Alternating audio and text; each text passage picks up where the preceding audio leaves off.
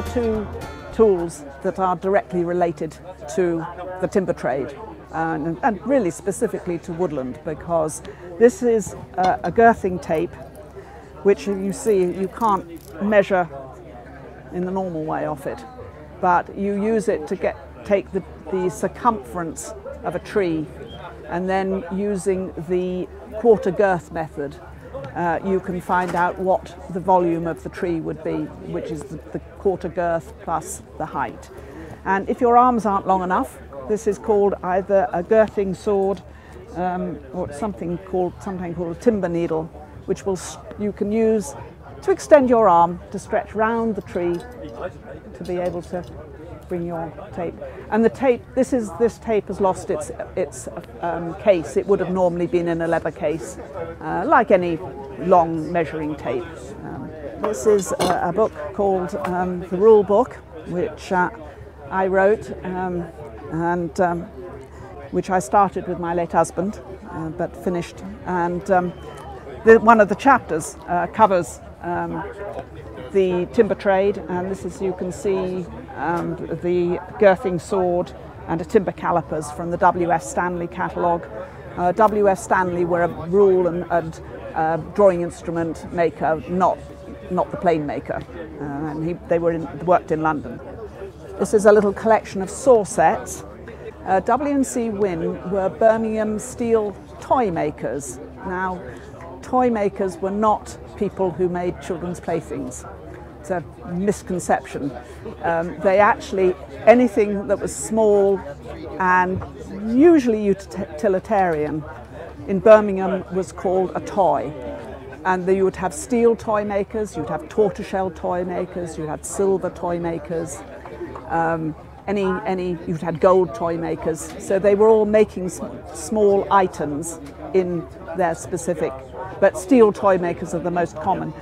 W&C Wynne started in uh, eight, uh, 1797 um, and it was the C and were Cornelius and William and they actually took over from their father who was a buckle maker and when buckles, which that's in shoe buckles, went out of fashion they started finding other things to make. They produced wonderful pattern books. The wonderful thing about them was that they showed everything they made in every size. They would have, and they were full size, so you could put your item that you have on top of the actual item.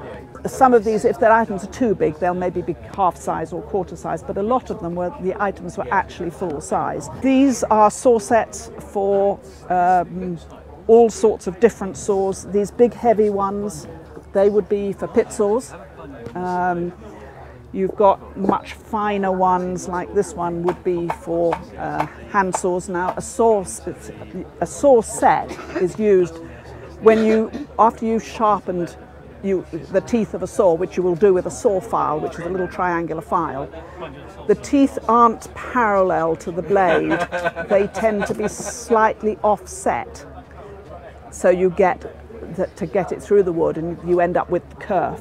And these were used, these simple ones, you would just put them on the blade and you just went down, setting the teeth each way.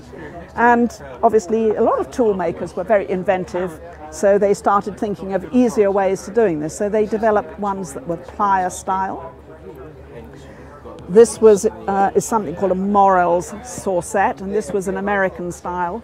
And you might think that this was sort of a rel relatively recent invention, but actually this was pre-1890 that they had made, they were starting to be inventive enough to make, and again this has a little um, thing that goes there which goes, so it pushes against each one.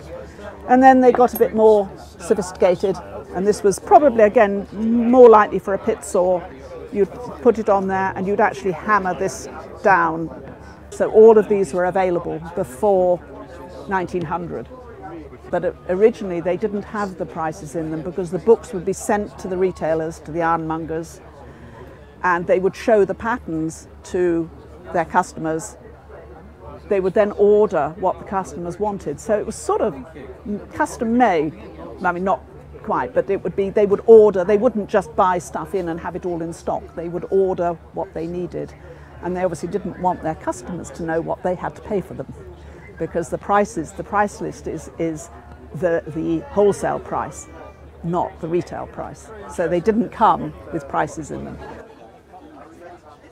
You would get your, your pattern book from your manu the manufacturer, and you were never allowed to have the next one until you'd sent back the old one because the manufacturers didn't want these full size pattern books kicking around for other people to copy their tools. You buy them on eBay, you, there are a couple of specialist tool auctioneers, um, you buy them at antique fairs, and you need to, the, the way to start is to learn about them because um, you, so you need to know, you know, what you're collecting. There are uh, quite a number of collectors of, of tool collecting books, which are all wonderful resources. Uh, you just go around looking for the stuff and try and find out as much as you can about it. I'm very limited in what I collect these days. I collect rules, and I keep those in a chest, which I think originally probably had birds' eggs or butterflies or something like that. So there's a lot of little thin drawers that are perfect for storing rules, so I, I keep those.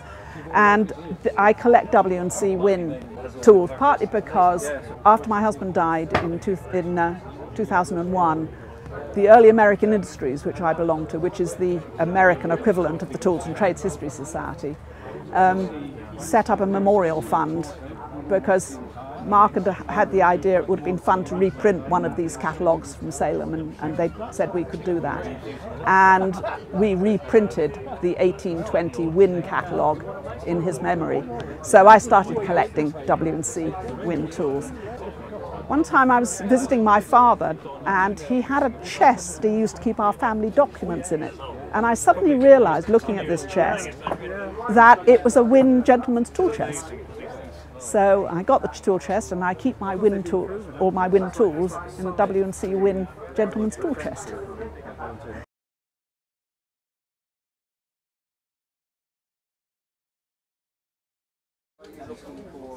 Yeah.